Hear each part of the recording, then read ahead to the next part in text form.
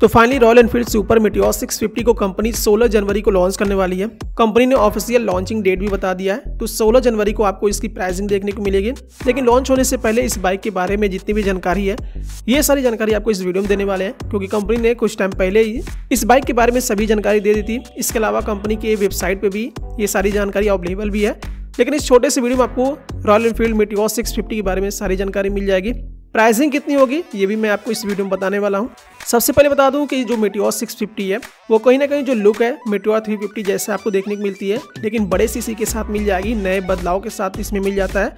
ये cruiser plus touring segment की bike है यहाँ पे रेट्रो क्लासिक लुक मिल जाती है। राउंड शेप का जहाँ पे एलईडी हेडलैम्प भी लगा हुआ है। रियर ड्रॉप आपको स्कल्पटेड आपको टैंक देखने को मिल जाती है।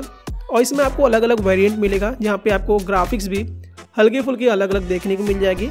काफ़ी लो सीट आपको मिल जाती है, छोटे हाइट वाले भी लोग चला सकते हैं। स्प्लिट यहाँ पे सीट दी गई है।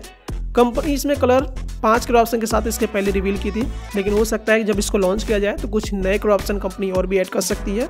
तो इसमें 648 सीसी का pilot twin four stroke air oil cooled electronic fuel injection engine लगा हुआ है। जो कि लगभग 47 पीएस का पावर और 52.3 एनएम का टॉर्क जनरेट करती है। सिक्स स्पीड गियर बॉक्स के साथ ही आएगी। इसके अलावा सबसे अच्छी बात, इसके फ्रंट में आपको अपसाइड डाउन फॉर्क और रियर में twin shock preload adjustable suspension मिल जाती है। तो इसके फ्रंट में आपको 100 बाई 90 का 19 इंच और रियर में 150 बाई 80 का 16 इंच का ट्यूबलेस टायर मिल जाएगी, जो कि अलावेज के साथ आती है।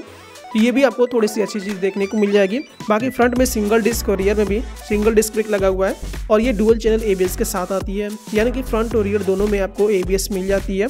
तो इसकी जो ग्राउंड क्लियर्स है 135 mm है। बाकी सीट हाइट 740 फोर्टी mm है। फ्यूल टैंक कैपेसिटी 15.7 लीटर की है और इसका जो कर वेट है 241 kg है। बाकी अन्य दूसरे फीचर्स की बात करें तो मैंने आपको बता दिया है एलईडी हेडलैम्प सेटअप मिल जाएगा। यहाँ पे डिजिटल एनलॉग मीटर दिया गया है यहाँ पे आपको tripper navigation as a optional भी मिल जाएगा, और डिजिटल में एलसीडी डिस्प्ले दी गई है, जहाँ पे कई सारी इन्फॉर्मेशन आपको देखने को मिल जाएगी। इसके अलावा इसकी जो टेल लैम्प सेक्शन है, वो आपको पीछे फेंडर पे देखने को मिलेगी, ये भी राउंड शेप में दी गई है।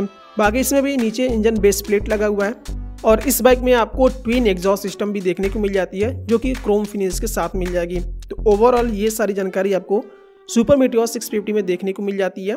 बाकी प्राइसिंग की बात करते हैं तो 16 जनवरी को प्राइस कंपनीज़ की रिवील करने वाली है। मेरे हिसाब से इसकी जो एक्सट्रीम प्राइस होने वाली है, लगभग तीन लाख तीस हज़ार के आसपास में देखने को मिल सकती है। आपके हिसाब से इसकी प्राइस क्या होनी चाहिए, ये कमेंट से हम बता सकते हैं, क्योंकि रॉयल एनफील्ड ने हंटर थ्री का प्राइस एक इतना अच्छे बजट रेंज में रख दिया है जिसकी वजह से काफ़ी सारे लोग उम्मीद लगा रहे हैं कि मिटियोर 650 भी एक बजट रेंज वाली बाइक हो सकती है, जो कि सिक्स 650 सीसी इंजन के साथ मिलने वाली है। तो आपके इसके बारे में क्या कहना है कमेंट बॉक्स में ज़रूर बताएगा और चैनल को सब्सक्राइब ज़रूर करिएगा, क्योंकि लॉन्च होते ही सबसे पहले आपको प्राइसिंग इस चैनल पर देखने को मिल जाएगी। तो यहाँ पे इस वीडियो में फ़िलहाल इतना ही। Thank you friends thanks for watching